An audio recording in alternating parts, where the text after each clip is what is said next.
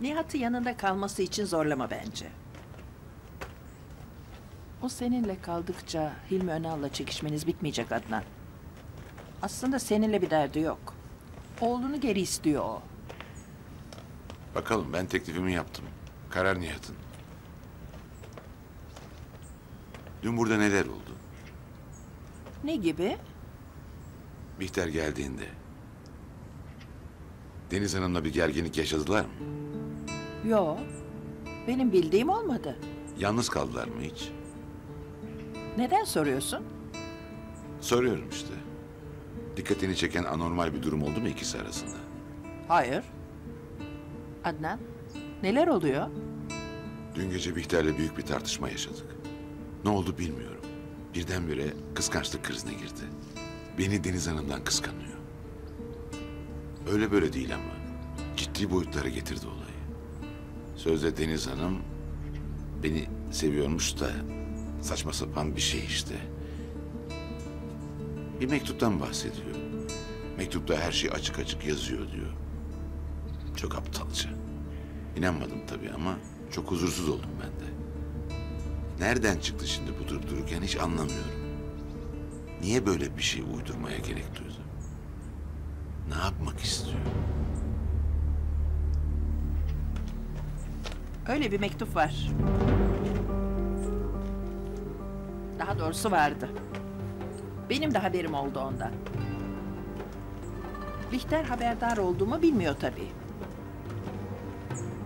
Yani şimdi Deniz Hanım gerçekten de Lütfen sen de bilmemiş ol. Çok üzülür. Ondan kimseye zarar gelmeyeceğini sen de biliyorsun. Yıllarca biriktirip de kimseyle asla paylaşamayacağı şeyleri kağıda dökmüş.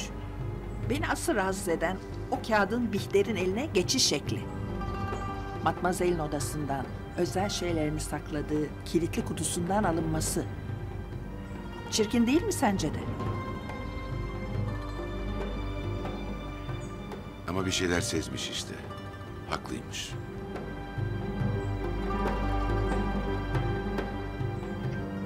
Yani başkalarının odasına girip özel eşyalarını karıştırmak hoş değil, çirkin hatta. Savunmuyorum kesinlikle. Ama en azından anlayabiliyorum onu şimdi.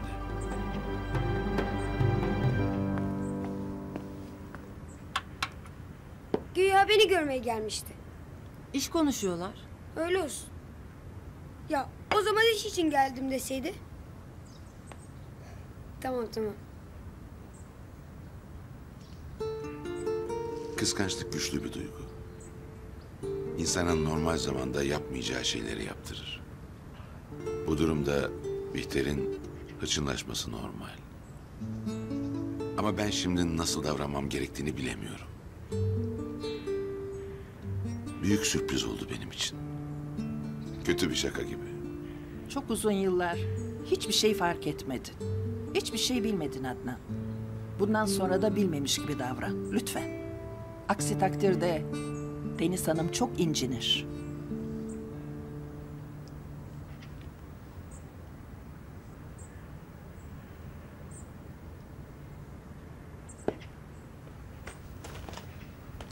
Sonunda aklına geldim. İş konuşuyorduk alanla. Dedim sana. Ayağı böyle olduğundan beri çok mızmız oldu. Sonunda ben de şikayet ettim seni.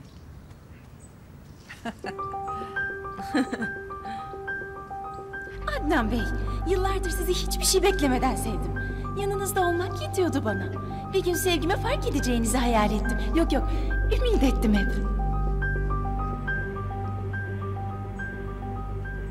Adnan Bey, Ben kaçıyorum. Biz Bülent. Hani birkaç gün daha kalmayı kabul etmiştin? Niye böyle yapıyorsun şimdi? şansımı denedim. Biliyorum sıkıldın ama Deniz biraz kafasını dinlesin. Tatil gibi burası onun için. Matmazel için kalıyorum ona göre. Siz bu yaz için tatil planı yaptınız mı? Yo. Neden sordunuz? Tatilinizi hangi tarihler arasında nerede geçirmek istediğinize karar verirseniz Organizasyonu ona göre yaptırırım diye düşündüm. Bu sene ayrı ayrı mı tatil yapacağız? E biz nereye gidiyorsak mı? Belki Matmazel bu yaz kafasını dinlemek ister. Kendi başına olmak ister.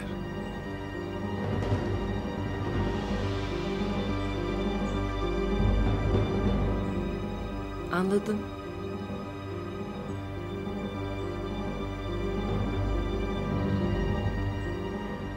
Bir düşüneyim ben ben size bildiririm. Hoşça kal. Birkaç gün sonra görüşüyoruz. Tamam evdekileri selam. Söylerim. Hadi görüşürüz. Güle güle. Ha, ablamı çok çok öp benim için.